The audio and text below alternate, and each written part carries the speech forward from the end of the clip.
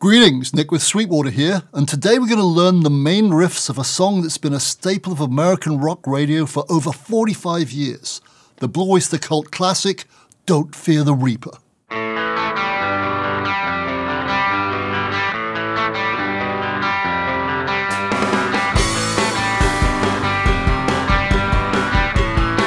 no, no, stop, stop! I'm sorry that's wrong, I've messed up. Oh. Nick, when you're teaching everybody to play Don't Fear the Reaper, please use more cowbell, you dummy. Pow! Got it!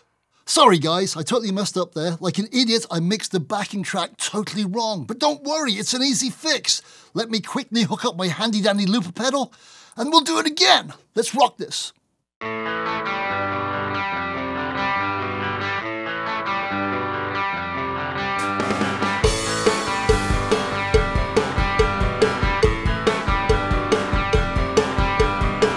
Yeah, I know, I'm sorry. Totally cheeseball, 110% predictable, and pathetic too for that matter, but it had to be done. Anyway, stupidity over, on to the lesson. Don't Fear the Reaper was written and sung by Blue Oyster Cult's lead guitarist Buck Dharma and appeared on the band's 1976 album, Agents of Fortune.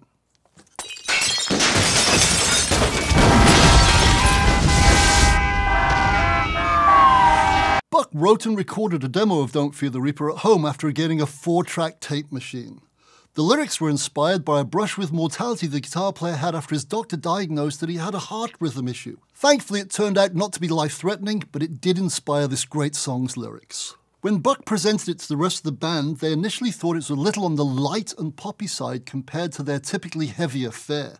That said, they really liked the song, so decided to put it on the album. The last thing to be recorded the cowbell, of course, the icing on an already soon to be legendary cake. The album version of this song clocks in at just over five minutes. That said, the band's record label saw the song's hit potential, so committed the awful act of cutting out the epic solo section to make it short enough to be a single. This unthinkable sin shortened the song by over a minute, it was released as a single, and it quickly became a massive hit. And the rest, as the saying goes, is hard rock history. Backstory over, Let's learn this classic, shall we? First up is that instantly recognizable repeated two bar intro and verse riff, this one.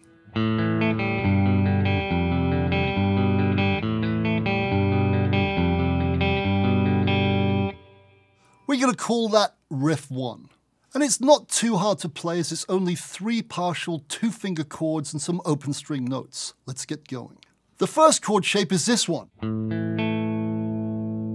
Like I said, two fingers. I'm using my second and third fingers to fret this one. My middle finger is holding down the E note at the second fret on the D string, namely this one. And my ring finger is doing the same thing on the G string, holding down the second fret. So we've got this, which is an A.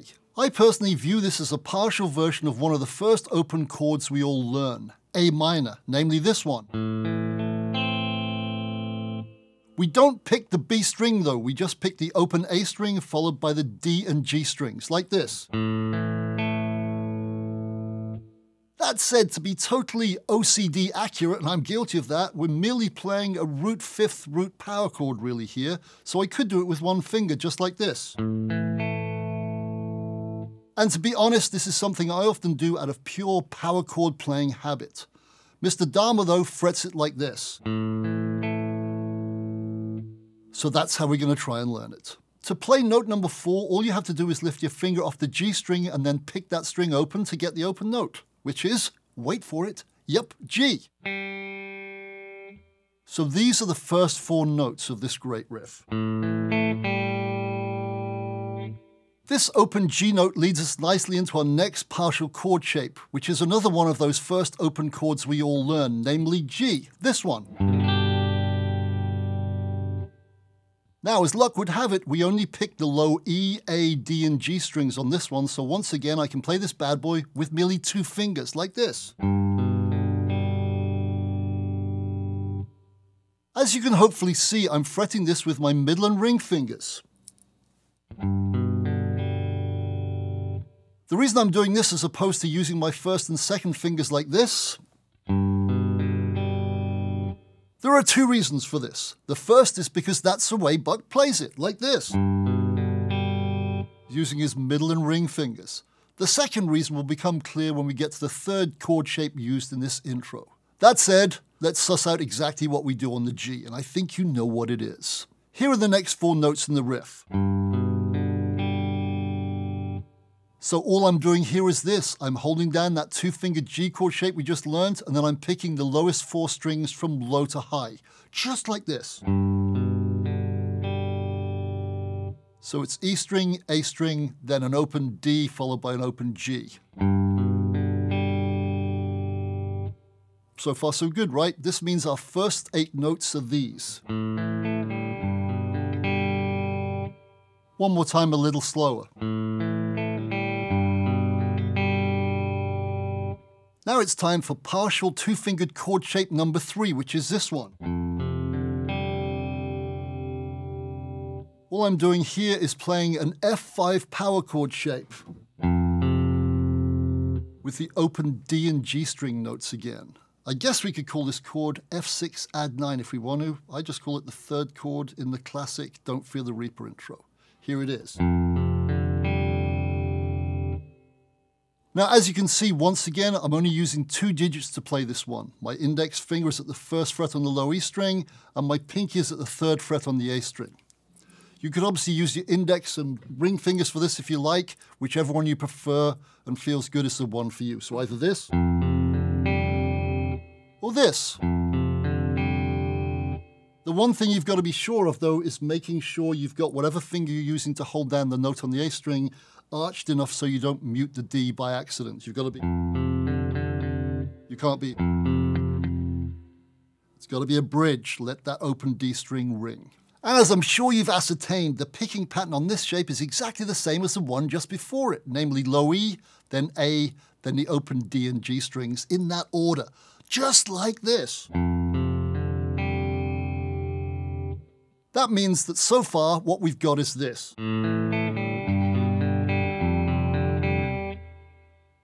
Pretty simple, right? Here it is again, one more time, a little slower.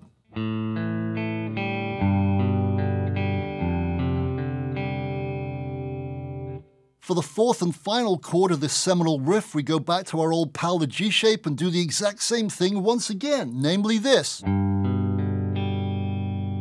that's it, we're home free. Here's the whole riff.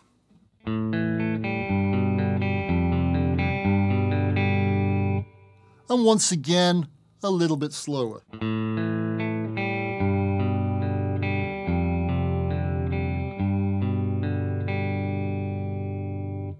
As for the picking here, well, Mr. Buck Dharma uses strict alternate picking, namely down, up, down, up, down, up, and so on. You can, of course, pick it whichever way feels right to you, but to my ears, the riff does sound best when played the Buck way, namely alternate picking, down, up, down, up, down, up. Got it? Cool. Let's move on. Now, even though I've just shown you the most logical and economic fretboard fingering pattern for this one, namely the way Buck plays it,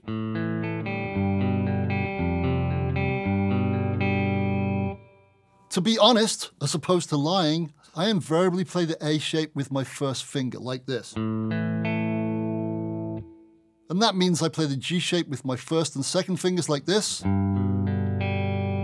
Which means, of course, I actually have to move my hand to go to the F shape like this.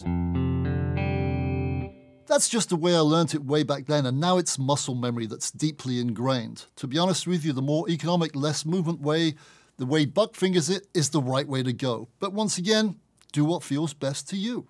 Now, if you haven't been playing for too long, this pesky F shape could well be your stumbling block, your Achilles heel, if you will. Now, if you find this to be the case, I'm going to give you a hack. I don't like hacks, but this is a good one. And to be honest with you, this is how I first learned how to play this riff, because that's how I thought it was played when I learned it from just dropping a needle on the record over and over again and using my ears. This is what I did. I didn't play the F like this. It was just a one finger here way easier, right? And when you play it together with the other two chords fast enough, it sounds correct.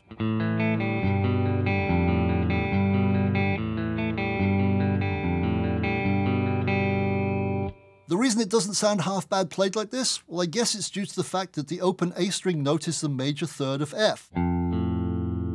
So it sounds right. Your ultimate aim is obviously to play the F shape the two fingered buck way. That said, the one fingered way should impress your friends until you master the harder one. So that's it, my friend, the main Don't Fear the Reaper riff. Done and dusted. Hurrah!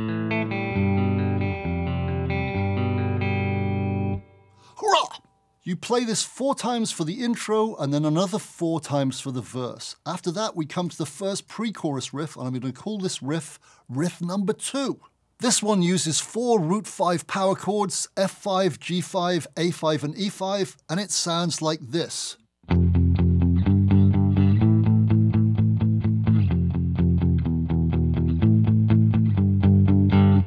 Pretty simple, right? Once again, a little slower.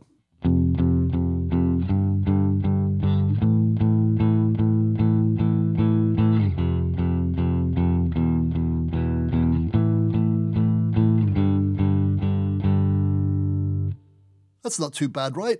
Let's break it into two two-bar sections. The first chunk is this one.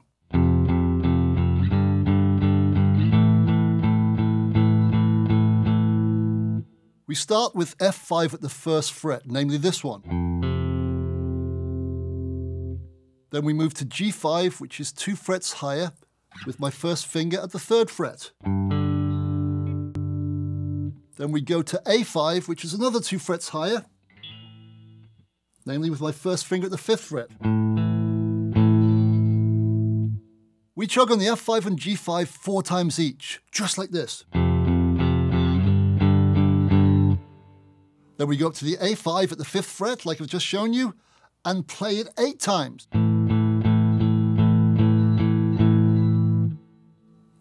So once again, our first pre-chorus section is this one.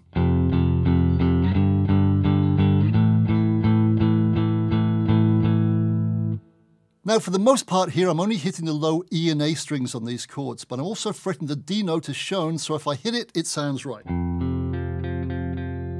Because it's just the root note an octave higher. Got it? Good. Let's move on. Our next section, chunk number two of the pre-chorus, goes F5, E5, A5, and G5, with four hits on each. Now, we already know F5, G5, and A5, so the only thing that's missing is E5. And this is how we're going to play it. We're going to do it on the open position like this. And as you can see, it's just a one-fingered affair. I've just got my index finger fretting the A and D strings at the second fret. Thus, when the low E string note is added, hey presto, we've got a nice fat-sounding E5 chord. Nice. So, as I've just mentioned, we go F5, E5, A5, then G5, hitting each one four times, just like this.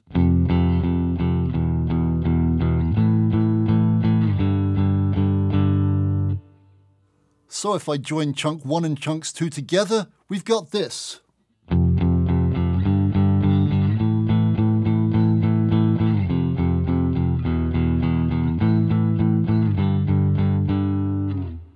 And that's it. After that, it's into the chorus and the la la la section with some neat lead work from Buck.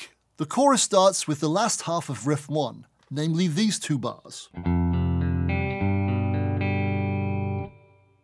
Then we go back to the main riff, riff 1, and play it a weird total of 9 times. Yep, you heard me, not 8 times, but 9.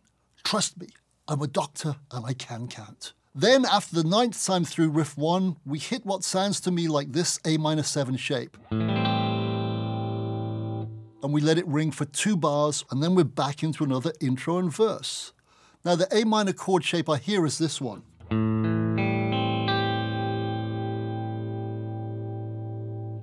This version also works as well. And this time it's merely our old friend, the open A minor shape. With the high G note added, the minor seventh played at the third fret on the high E string with your pinky. Both sound great, but I personally prefer the first shape, this one, which is basically the second shape with your third finger lifted off so you get another G note. Yep, to me that sounds the sweeter of the two, but I could be a little biased because the minor seventh is my favorite sultry sounding chord. To be honest though, a regular open A minor chord like this doesn't sound half bad. Anyway, enough minor seventh talk, back to the plot. After what we've just done, we go into another intro and verse section, then we go into the pre-chorus number two, which is much longer than the first one. It starts the exact same way, namely this.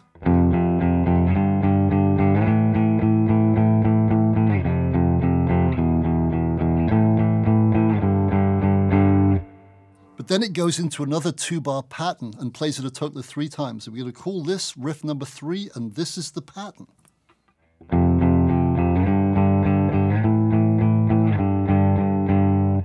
And like I said, that's played a total of three times. All we're doing here in riff 3 is this. We're going F5, G5, A5, then back to G5 and chugging each chord four times, just like this.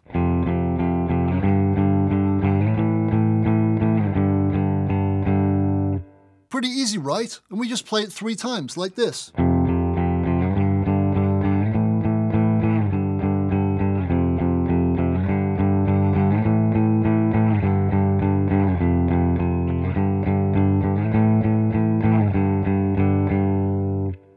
So when we add that to riff two, hey presto, we've got pre-chorus number two. And the entire thing sounds like this.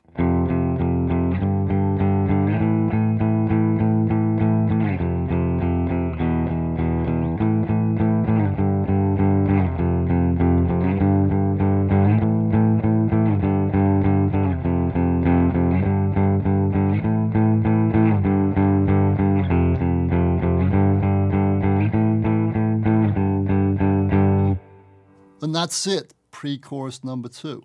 Once you've got this down, I'd strongly suggest you listen to the recorded version to get hold of Buck's exact feel in this part, because it's a pretty cool one. Now, while I'm playing both pre-choruses using downstrokes exclusively, I have seen footage of Buck reverting to alternate picking on occasions, and sometimes he doesn't even play strict eighth notes either. Listen and play what feels best to you. It's all good. Then after this, it goes back into another chorus and another la la section with some more cool lead work from Buck. So namely, we do this. And then we play the main riff, riff number one, nine times again, before finishing with... Yup, another A minor 7 chord that rings for two bars. At this point, as already mentioned, on the single version of the song, the solo section is cut out and it goes straight to the third and final verse. We're not going to do that though, because it's wrong! Now, while we're not going to learn the solo in this lesson, we are going to learn the two killer riffs that are used on the much longer album version of this great song. First up is riff number four, the killer sounding, angular one that's played right before Mr. Dharma's epic solo on the album version of this classic song. We'll call this the interlude, I guess. So riff four is the interlude. Now this one consists of two three-note arpeggios played on the B and high strings. And once again, the count here is a little weird, so brace yourself. We're also going to stick with a clean tone for this bad boy too. The first repeated three-note pattern is this, F, A flat, and C, which makes an F minor arpeggio. You play the F at fret 6 on the B string with your index finger. Then the A flat on the same string at fret 9 with your pinky. Then finally, with your third or ring finger, the C at the 8th fret on the high E.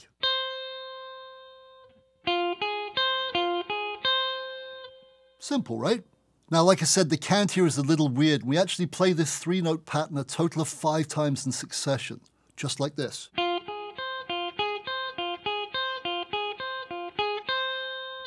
Yep, five times. Then we go straight into the next repeated three note pattern, which goes like this F, G, B.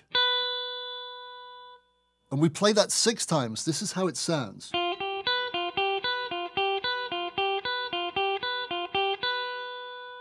Here's how you play it. Our first note is the F at fret 6 on the B string again, namely this one. We then play the G two frets higher on the same string, and we use our ring finger. And the final note B is at the seventh fret on the high E string, and we use our middle finger to fret this bad boy. So we have this. And like I said, we repeat it a total of six times, just like this.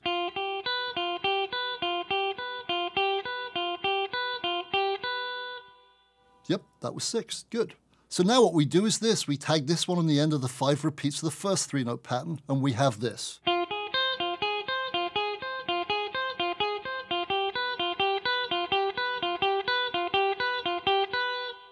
Five, then six. Here it is again, a little bit slower.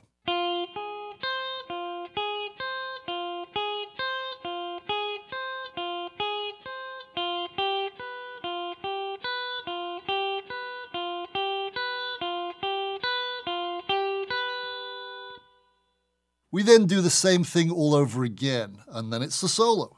And like I said, the count is weird. Five repeats followed by six, and then the same exact thing again. But what a great sinister sounding section that is. It's pretty unsettling in a very cool hard rock way, and it uses a clean sound. Like it. Now I have seen this section transcribed using the G, B, and high E strings for these two arpeggios like this. The first one's played like this. And the second pattern like this. Now these notes are 100% correct, but the way I just showed you just on the E and B strings, namely this one, that's the way Buck plays it, and in my opinion it's a little easier to play and it sounds cleaner and clearer too. Now last but certainly not least we come to riff 5 which is a repeated 10 note distorted one played underneath Buck's solo in addition to the spooky sounding pair of arpeggios we've just learnt, of course. This is what riff 5 sounds like.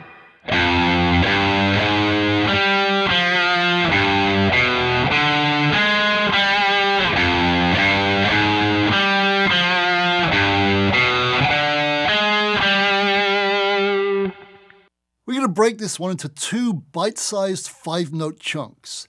Here's chunk number one. And a little slower.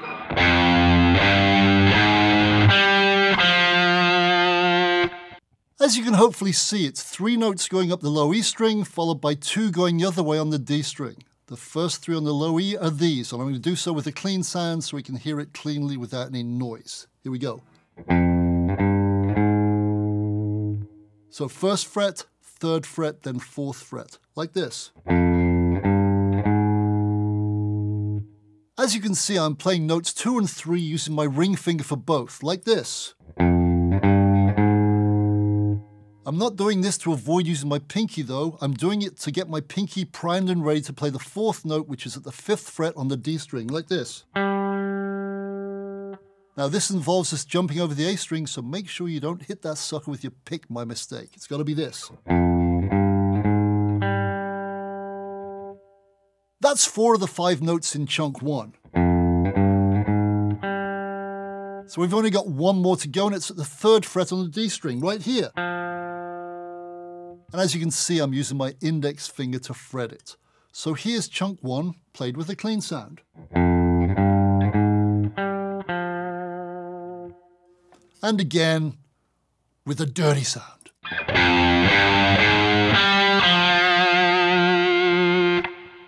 Next up is chunk two, namely this one.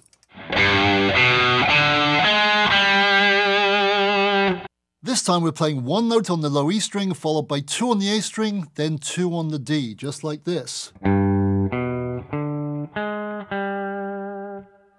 Our single low E string note is the G at the third fret, and we're going to fret it with our middle finger. Our next two are at the second and fifth frets of the A string, namely these two. So our first three notes of chunk two are these. And as you can see, once again, it looks like I'm avoiding using my pinky by playing the D note at the fifth fret on the A string with my ring finger, like this. But, once again, just like in chunk one, I'm merely doing this so my pinky is free to play the next note, which happens to be at the sixth fret on the D string. So from there, so there, logical, simple. This means our first four notes of chunk two are these. As for our fifth and final note of this chunk, it's at the fifth fret on the D string. and we're going to play it using our ring finger like this. So chunk number two is this. And again, with some desirable distortion. Playing these two chunks back to back gives us the riff we're after, namely this one.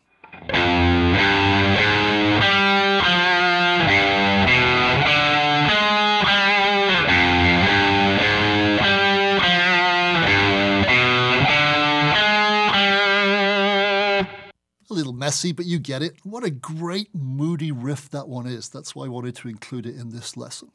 They play riff 5 a total of four times, then after the last time they do this for the very end of Buck solo. They go from F to G to F to G, holding each one for two bars or eight counts, like this.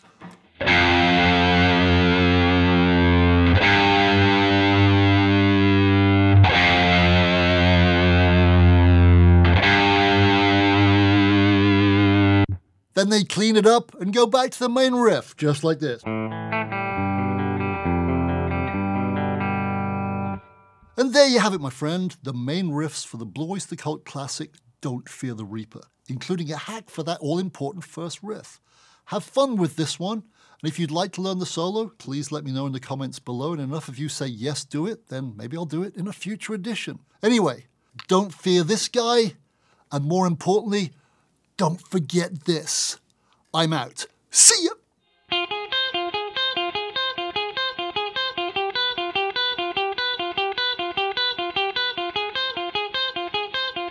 Thank you so very much for watching. Don't forget to like, comment, and subscribe. Click here for more videos like this, or start at sweetwater.com for all your music instrument and pro audio needs. Class dismissed. Off you go.